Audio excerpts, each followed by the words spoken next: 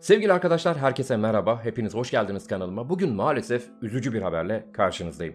Bundan iki gün önce bir video hazırlamıştım ve e, Anonymous gibi bu şekilde oyunları Türkçeleştiren e, mecralara destekte olalım diye çağrıda bulunmuştum. Arkadaşlar bugün geldiğimiz noktaya bakın. Red Dead Redemption 2'nin Türkçe yaması iptal edildi. İptal edildi. Evet maalesef iptal edildi.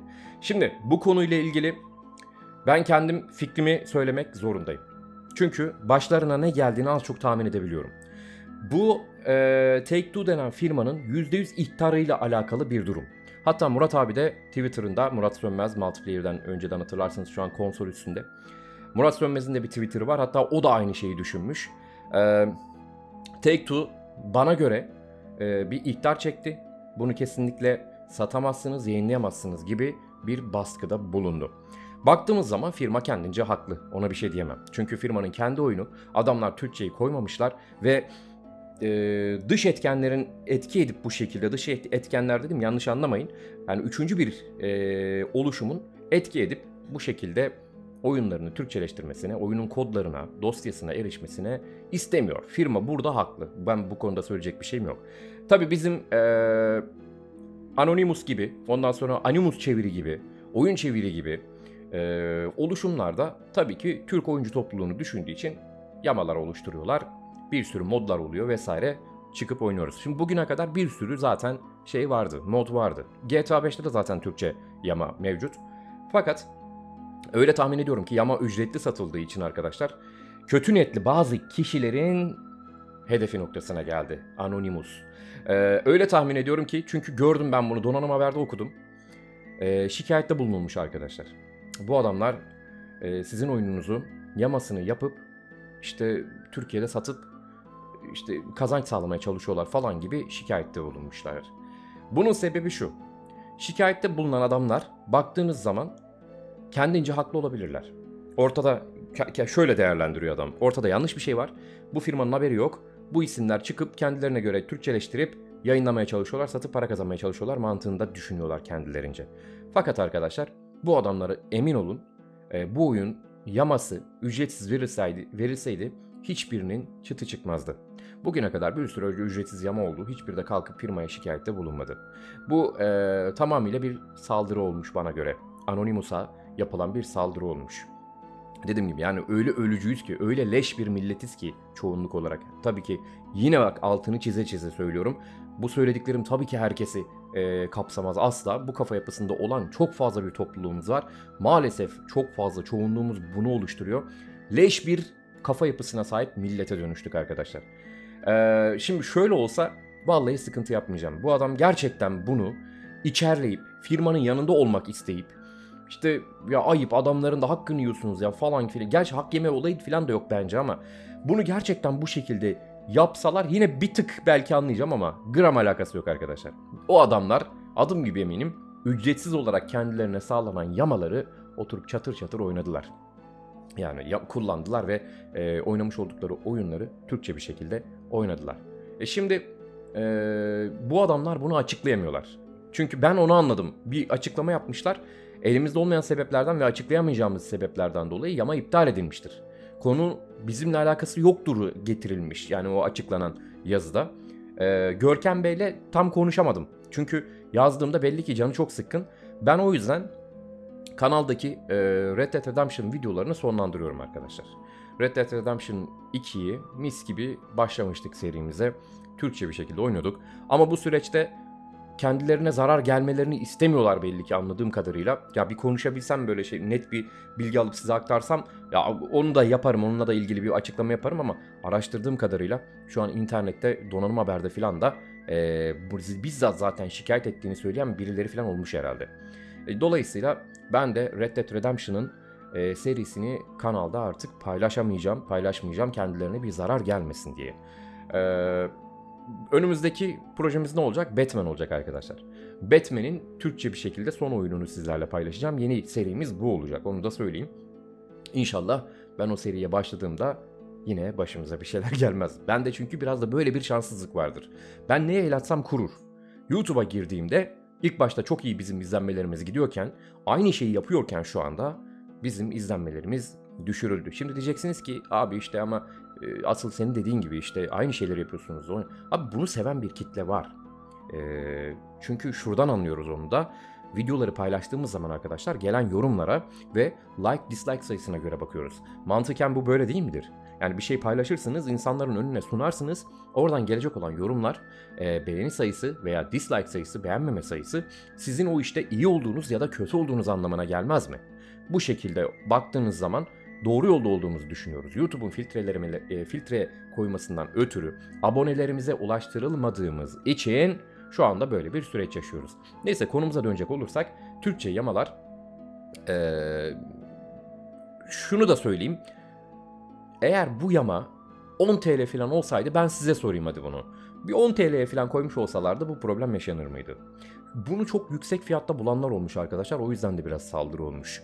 İlk başta 50 TL çok yüksek fiyat olarak değerlendirilmiş. Baktığımız zaman yüksek bir fiyat ama ben şuradan bakınca yine e, normal karşılıyorum. Dediğim geçen videoda da söylemiştim. 6-7 bin liralık bilgisayarı var adamın Red Dead Redemption oynayabilmesi için. E, dayı bayılmış 300 TL'de para almış oyunu. Zaten Türkiye'de çok fazla kişi de yok bu oyun. Yani maliyeti çok yüksek olduğu için. E, Üstüne bir de e, 50 TL'ye mırın kırın edip şikayette falan bulunuyorlar. Adam 50 TL'ye yama ücreti koyarken bir de 20 TL'de Game Pass olayını oraya e, yazdı. Yani yamayı satın almak zorunda değildin 50 TL verip. 20 TL verirdin, alırdın. Red Dead Redemption yamasını bir ay içerisinde oynayabiliyorsun 20 TL'nin içindeki o Game Pass sisteminde. Oyna bitir bir daha da abone olma abi. Yani en kötü sana bu adam bunu da sunmuş. Yok. Leş kafa yapısı tabii ki hemen bir saldırıya geçmiş ve e, geri adım atmalarına sebep oldu. 30 TL'ye indirdiler. 30 TL'ye de karşı çıktılar. Saldırıda bulundular. Bu adi insanlar istiyorlar ki bedava olsun her şey bunlara. Bunlar hiçbir şey yapmasın tamam mı? Otursunlar böyle. Önlerine oyun gelsin. Oyunu da zaten torrentten indiriyorlar tamam mı? Böyle adiler. Torrentten indirir oyunu. Türkçe yamanında bedava olmasını ister. Bana ne kardeşim oyun ben para mı vereceğim der. 70 TL'lik çıkan Horizon Zero Dawn'ı almaz. 70 TL'ye der ki ben zaten bu oyunu torrentten oynayacağım der. 70 TL lan. Yani adamın koca oyunu 70 TL. Avrupa fiyatı bu oluyor işte. Hani diyoruz ya Avrupa'da fiyatlar daha iyi. Adamlar kendileri direkt ulaşabiliyorlar. E biz ulaşamıyoruz. O yüzden e, orijinal almıyoruz. Al işte. 70 TL'ye düştü Horizon Zero Dawn. Onu da almadınız. Almayan kitleye söylüyorum. Sakın herkes üstüne alınmasın lütfen rica ediyorum. Bu ince bir çizgi. Herkese söylemiyorum lafım herkese değil. Onu da almadın sen. Üstüne bir de ben bunu da torrentten oynarım dedin. Şimdi kalkmış diyorsun ki oyunlar çok pahalı oldu. 400 TL oldu, 500 TL oldu diyorsun. Evet çok pahalı oldu ama ben hatırlıyorum arkadaşlar. Bu oyunlar 50 TL olduğunda da 70 TL olduğunda da ya bu fiyatları geçiyorum. 10 TL'lik Mountain Blade Warband indirime girdiği zamanda dahi insanlar torrentten oynuyordu bu oyunu. Yani Türk oyuncu topluluğunun çoğunluğu arada bizler kaynıyoruz tabi. düşünce yapısının düzgün olduğunu inandığım insanlar tabii ki arada kaynıyoruz. Bunu yapacak bir şey yok. Çünkü toplumun geneli toplumu oluşturur. Bizim genelimiz leş. Yapacak hiçbir şey yok. Adam 10 TL'lik oyuna bile zamanında torrentten oynamışken şimdi kalkmış 500 TL'lik oyunu eleştiriyor. İşte diyor ki oyun 500. Ulan sana 20 TL olsa 10 TL olsa sen yine torrentten oynayacaksın oyunu. Zübük. Neyse oradan kendilerine gitsin bu laf.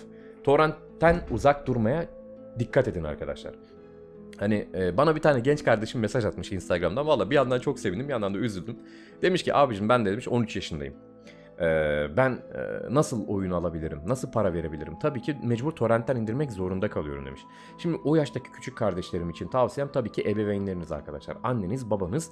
E, bu annenizden babanızdan izin isteyeceksiniz bana bu oyunu alır mısın? İndirim süresini bekleyeceksiniz. Tabi onların da çok cebini yormadan.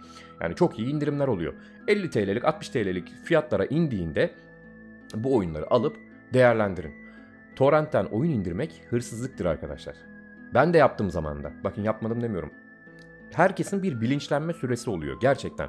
Ee, bilmiyordum bile. İnanın bana torrentten oyun indirmenin yasal yani yasak bir şey olduğunu dahi bilmiyordum o kadar bilinçsiz, cahil olduğum bir süreçti benim de.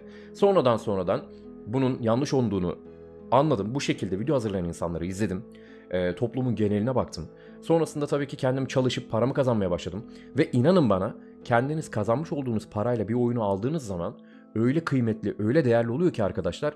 O zaman işte her oyuna kalkıp e, bu oyun çöp, bu oyun bok diyemiyorsunuz. Neden? Sen o oyuna para vermişsin, bir kere almışsın.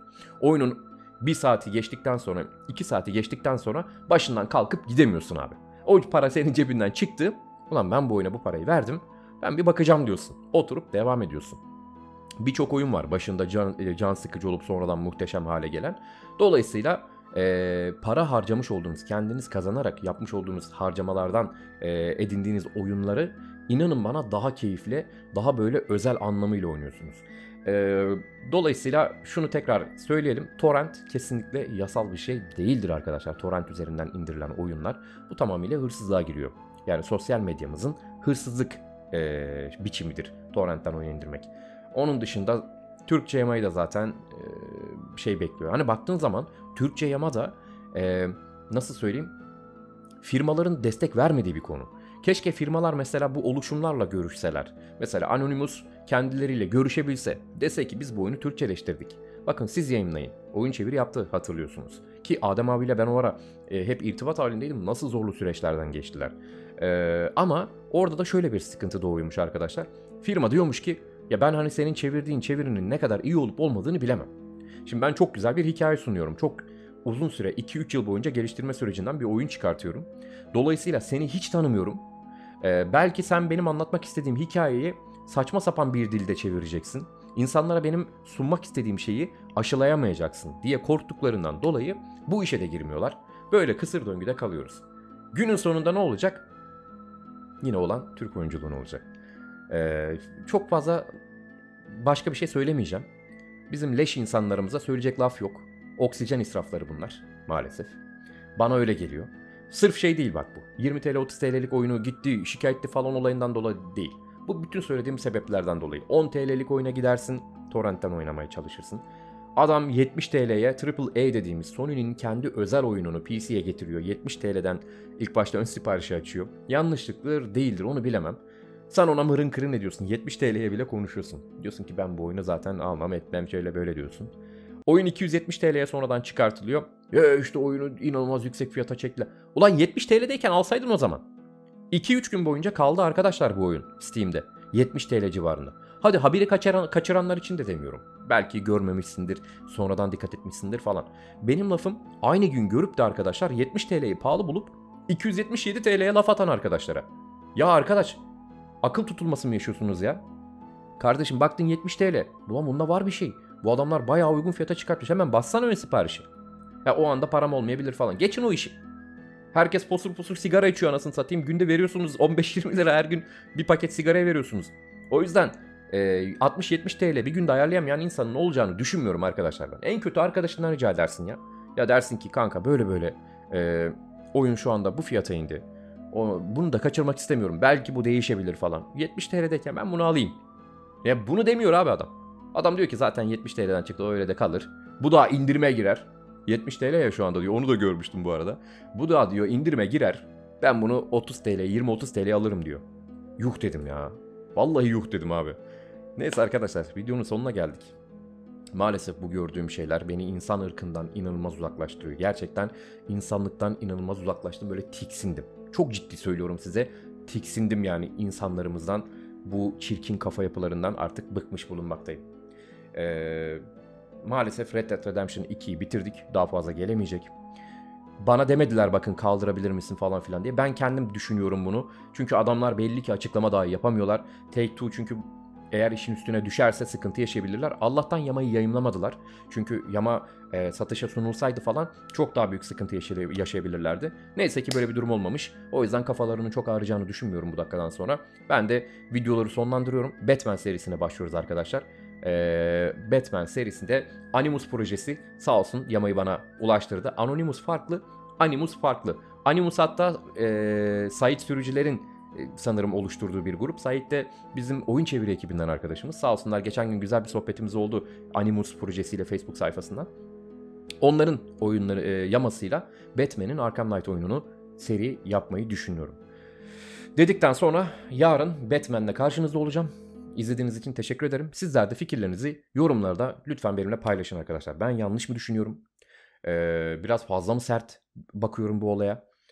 Siz de fikirlerinizi söylerseniz çok sevinirim. Benim düşüncelerim bunlar. Kendinize iyi bakın, hoşçakalın. Takipte kalın arkadaşlar. Bay bay.